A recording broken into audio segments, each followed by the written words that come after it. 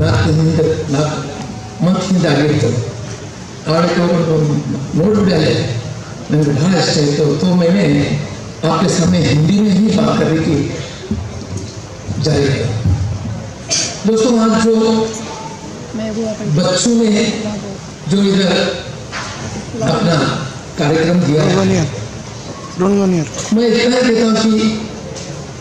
ये सात स्कूल के